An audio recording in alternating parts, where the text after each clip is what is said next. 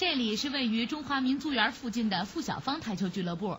从十一月二十六号到十二月六号，这里全天免费对外开放，为的就是庆祝刘莎莎夺得世锦赛冠军。按照老板张树春的话说，一天得赔不少钱，就是图个高兴。张树春是谁？别着急，后面告诉您。先告诉您刘莎莎为什么在付小芳台球俱乐部打球，因为他们俩不是姐妹，胜似姐妹，有多亲？您自己听听。我吃的第一口奶就是莎莎他妈的奶，亲姐妹的，亲姐妹一样的。她走出的路线好像跟我几乎上很相似了，也是上学不好好学习，然后妈妈让她去学习不学，学习非常吃力，肯定是考不上大学那块料。然后我妈妈看她也不上学了，然后就问莎莎你不上学了，那你想不想跟你姐姐去打台球啊？我当时一听跟我姐姐去打台球。因为我小的时候特别羡慕我姐打台球嘛，我觉得行啊，当时特别高兴。我非常可爱，非常单纯，我是非常喜欢的。我姐就比较护着我吧，但是有些时有些时候我犯错了，我姐从来不惯着我。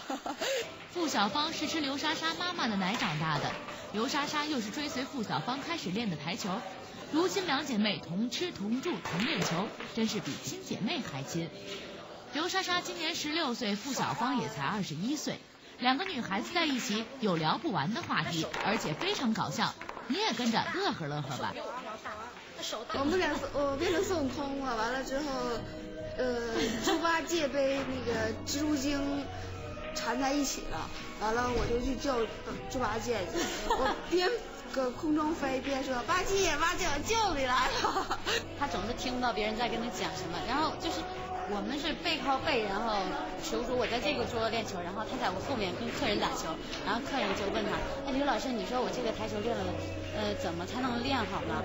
然后他就回答，嗯，我这个台球练了很刻苦，练了好几年了。然后那个他说，刘老师，我没问你，我是问我，我这台球该怎么去练，从哪方面练起？哦，我一天练六七个小时，练得可刻苦了。原来在赛场上沉着老练的刘莎莎，在生活中是这么天真，甚至有点无厘头。她的经典段子还多着呢。在昆明，那是职业培训赛，然后他是打第五。呃，然后就是在打完这场比赛结束一个月以后，我们在吃饭，然后他就跟我讲，姐姐，你你记不记上次比赛？然后有一记者说，说我是一匹黑马，姐，哇塞，我黑吗？摸着自己小脸蛋，姐，哇塞，我黑吗？当时我还一边拿着羊羊肉串，因为我们在吃烤肉。特滑稽那场面，完了我姐我说姐问你我一直有有有问题闹不清楚，那谁姐说说我是一匹黑马，哇塞姐你说我黑吗？这就是真实的刘莎莎，一个在球场上和球场下判若两人的新一代九球天后，而付小芳是她在北京最亲的人，没有付小芳就没有今天的刘莎莎。说到这里，今天的第三位主人公该登场了。他就是刚才提到的付小芳台球俱乐部的老板，同时也是付小芳和刘莎莎的教练张树春。当年付小芳在东北自家叔叔家那里打球，到一定程度之后就投奔张树春了，球技也逐年攀升。之后刘莎莎也想投奔张指导门下，差点吃了闭门羹。第一吧，那时候他太小，有的时候。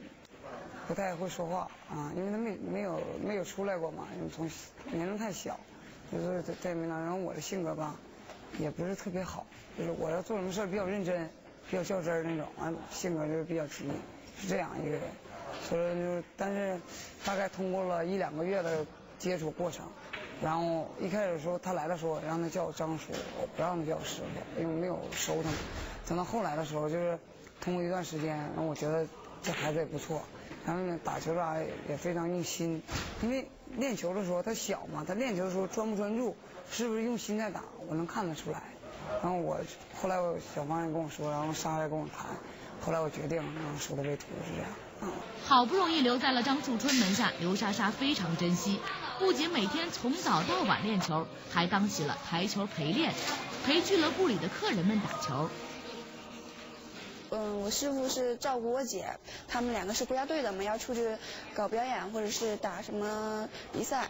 当时我水平没有到那个程度，所以没有出去打比赛，一直在陪打，一直在陪打，所以好多客人一进来吧，一进我们球房就说啊找刘莎莎陪打这样，然后就就去颠吧颠吧就去打台球去了，当时觉得很很幸福。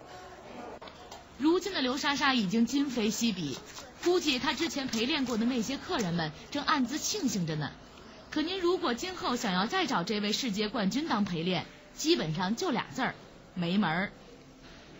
我打完那个省研比赛，我就跟我师傅说，师傅可不可不可以提个要求？师傅说什么什么要求？我说我说我不是在球房四十块钱一小时陪打吗？可可不可以给我提到五十块钱一小时？因为我师傅说为什么？我说当时嗯五十块钱一小时我就可以自己练球的时间多一点，找我打球的客人也就会相对少一点吧。嗯，我师傅当时就笑了，说你现在是是世界冠军，嗯五百块钱有人找你打台球你都不可以陪。刘莎莎这次是一战成名，彻底火了。夺冠之后的这半个多月来，张树春、付小芳和刘莎莎这仨人就没闲着，各种采访是一个接一个，原本平静的生活一下子被打乱了。他们也充分的体会到了成为名人之后的苦恼。啊，我当时打完之后跟我师傅说，我师傅我这一夜之间就像小沈阳一下就火了，不知道怎么就火了，一夜之间，因为我一个全国冠军都没有拿到嘛，所以拿一个世界冠军我真的有点想都不敢想的。毕竟拿了冠军了，那跟以前就不一样了，因为以前可以不接受无所谓，因为以前名气没有那么大嘛，但是如果现在不接受呢，会有些媒体。或者说有些电台，会就是类似咱们这种节目，或者他会认为你有名了，跟没有名之前不一样，觉得会你有姿态了，或者说太骄傲或怎么的，我是这么想，所以说我觉得这段时间我不会说去顾虑这些事情，我会如果有媒体来我，我尽量去配合。所以说我们有难度有苦衷，但我们尽量会去配合，是这样的。但是呢，我们抽时间呢，能练习多长时间，争取去练习，是这样。如果当名人全是苦恼，那谁还当名人啊？也有甜蜜的时候，这时候的刘莎莎就很甜蜜，乐呵呵的练着签名呢。这是她刚琢磨出来的签名，您喜欢吗？运气好的话，您就可以把这签名和付小芳台球俱乐部的五百元储值卡一起带回家。